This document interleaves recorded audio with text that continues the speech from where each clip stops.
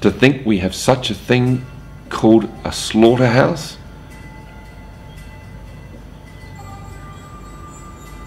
Where people are employed to grab an animal, use electric prods to force it to go where they want, to jam bolts in their heads, to slice their throats up, hang them from chains, and watch them die as blood drips out of their throat and their legs kick desperately.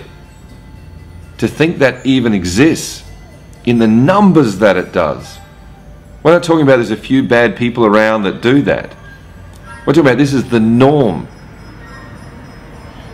If we can't stop and look at that and say, holy crap, what have we done? If we can't face that, we will not be able to face anything. And that can only happen if we forget the past, because in the past is where all of our justifications were created.